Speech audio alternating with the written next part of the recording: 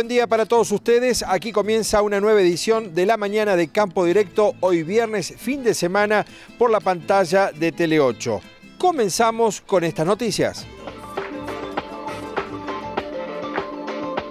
Se realizó la jornada de energías renovables organizada por la Federación de Cooperativas Federadas, FECOFE, con el apoyo del Ministerio de Agricultura y Ganadería de la provincia de Córdoba. La jornada tuvo lugar este miércoles en el pabellón amarillo del complejo Ferial Córdoba.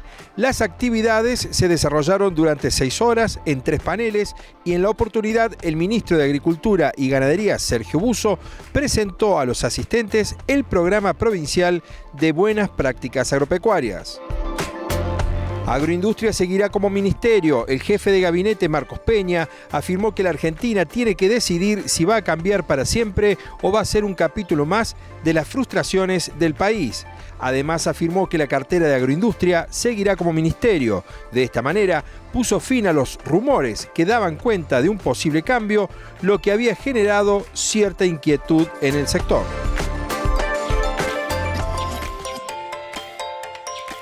Y a continuación presentamos las cotizaciones de cereales, carnes y dólar registradas el último día hábil.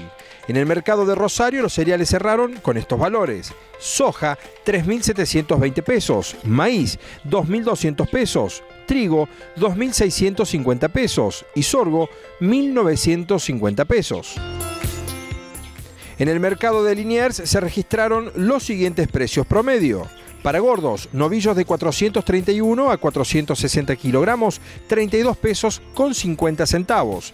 Novillitos de 351 a 390 kilogramos, 35 pesos con 25 centavos. Vaquillonas de 351 a 390 kilogramos, 31 pesos con 75 centavos. Y vacas buenas, 23 pesos el promedio por kilo vivo. En tanto para invernada se pagaron los terneros a 35 pesos con 75 centavos el promedio por kilo vivo. Próximo remate de consignaciones Córdoba el lunes 26 de junio a partir de la hora 10 en la Sociedad Rural de Jesús María y el dólar abrirá esta mañana a 16 pesos con 5 centavos para la compra, 16 pesos con 45 centavos para la venta.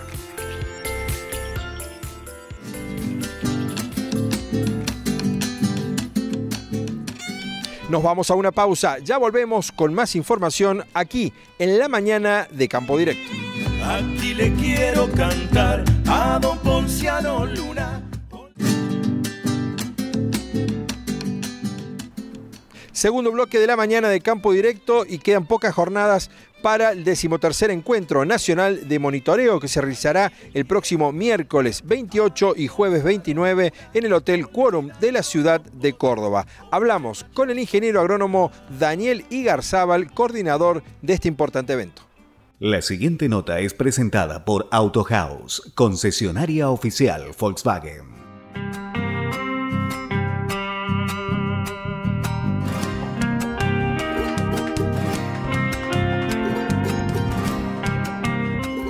El curso de aplicación que vamos a dar en este 13 encuentro es una clínica de aplicación, es decir, una clínica es un lugar donde se hacen diagnósticos y el diagnóstico sobre la regulación de una pulverizadora es una cuestión absolutamente básica.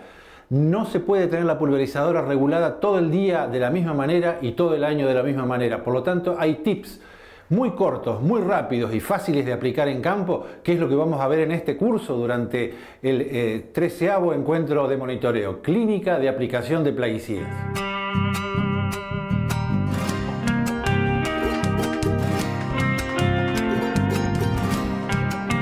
Los coadyuvantes agrícolas hoy en día representan un mercado bastante importante sin embargo, no estamos acostumbrados a usarla porque no conocemos las diferencias entre ellos. Humectantes, aceites minerales, aceites vegetales, metilados de soja. ¿Cuál es la diferencia real entre todo esto? Esto vamos a saberlo en este curso de coadyuvantes agrícolas en el 13 eh, encuentro de monitoreo.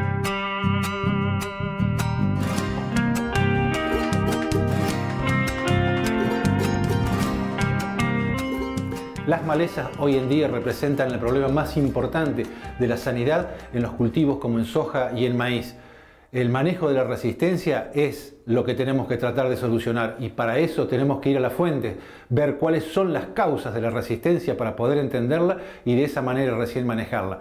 Solo aumento de dosis y cambio de producto no va a resolver el problema. Por eso este curso en el 3 encuentro de monitoreo.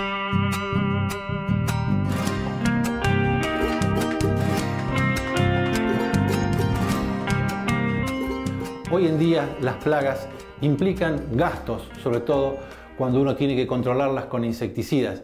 ¿Cuál es el momento para hacer un control?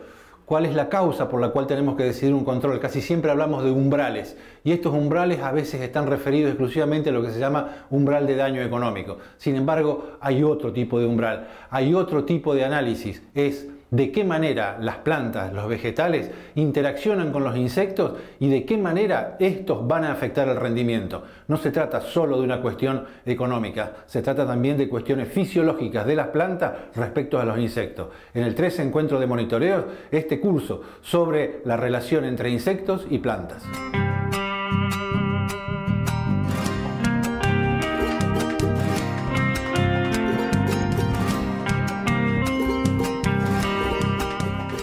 Queremos invitarlos al encuentro de monitoreo a realizarse en Hotel Quorum en la provincia de Córdoba, en la ciudad de Córdoba, eh, donde vamos a participar Yacto con nuestra maquinaria, con un montón de, tecnología para presentar y compartir con todos ustedes, los productores, ingenieros, estudiantes, que son el futuro de la agricultura. Eh, los esperamos en la ciudad de Córdoba el 28 y 29 de junio en el encuentro de monitoreo en el Hotel Quorum con toda la tecnología Yacto. Y para todos los productores ganaderos del norte de la provincia de Córdoba, les recordamos que hoy a partir del mediodía en Chepes, provincia de La Rioja, se llevará a cabo un remate especial de consignaciones Córdoba en el marco de la fiesta del ternero riojano. Estaremos presentes con nuestro equipo de producción en pocas horas nomás en la Sociedad Rural de Chepes. Presentamos a continuación la agenda, los eventos más importantes del agro para los próximos días.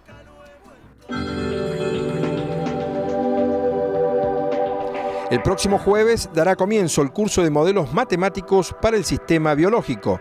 Es dictado por la Escuela de Graduados de la Facultad de Ciencias Agropecuarias de la Universidad Nacional de Córdoba. Las clases son presenciales de carácter teórico-prácticas y se requiere tener conocimientos básicos de análisis matemático. El martes 4 de julio, en el marco del ciclo Charlas que van a crecer en tu cabeza, la Bolsa de Cereales de Córdoba lanzará RSIS Indicagro, indicadores de responsabilidad y sustentabilidad empresaria, con la presencia de disertantes destacados en sustentabilidad e interacción campo-ciudad. Indicagro es la nueva herramienta de autodiagnóstico que permite medir el impacto del sector agropecuario. Si bien la actividad es gratuita, se requiere inscripción previa.